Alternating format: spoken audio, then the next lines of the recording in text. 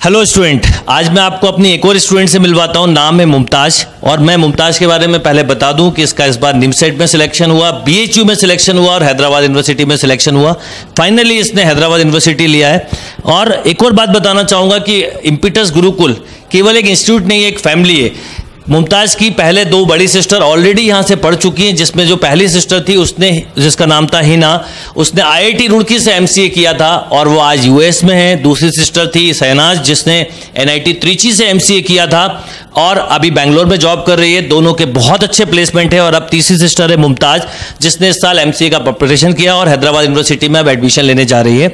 तो एक और चीज़ बताना चाहूँगा मैं आपको। जैसे मुमताज़ को इस बात को लेकर कोई कन्फ्यूज़न नहीं था कि क्या करना है, क्या नहीं करना है, क्योंकि ऑलरेडी गाइडेंस था परिवार में। तो मुमताज़, मैं जान, बता, बोलना चाहूँगा कि आप बच्चों को बताएँ कि समय रहते हुए पढ़ाई करने का क्या क्या एडवांटेज हुआ और आपने किस ढंग से अपनी प्रिपरेशन की? और पहले बहुत बहुत बधाइयाँ आपको हैदराबाद यूनिवर्सिटी के लिए बीएचयू के लिए एज वेल एज निमसेट के लिए। Hello friends my self Mumtaz Bano मेरा एक्सपीरियंस काफ़ी अच्छा रहा अच्छा रहा बिकॉज़ फैमिली में पहले से बताने वाले थे कि किस, कौन सी डायरेक्शन में जाना है किस डायरेक्शन में क्या करना है आगे जाके।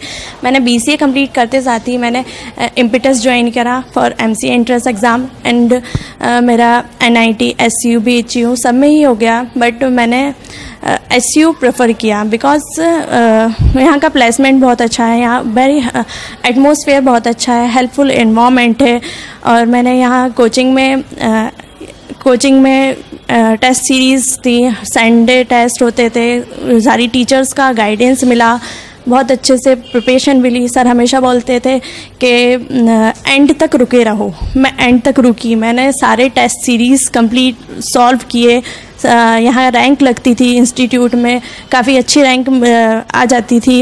एंड नाव मेरा एस में हो गया है। अच्छा एक्सपीरियंस है। हैप्पीली सब कुछ हो गया है।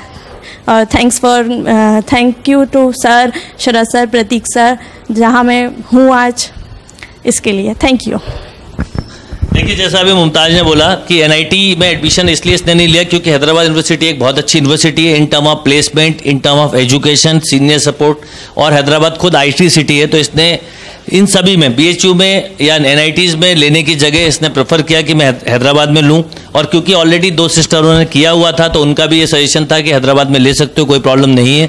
तो इसने हैदराबाद में लिया, कोई कन्फ्यूज़न नहीं था इसको, पढ़ाई कैसे करनी थी, सारी चीज़ें क्योंकि कहीं ना कहीं ऊपर से गाइडेंस मिलता आ रहा था।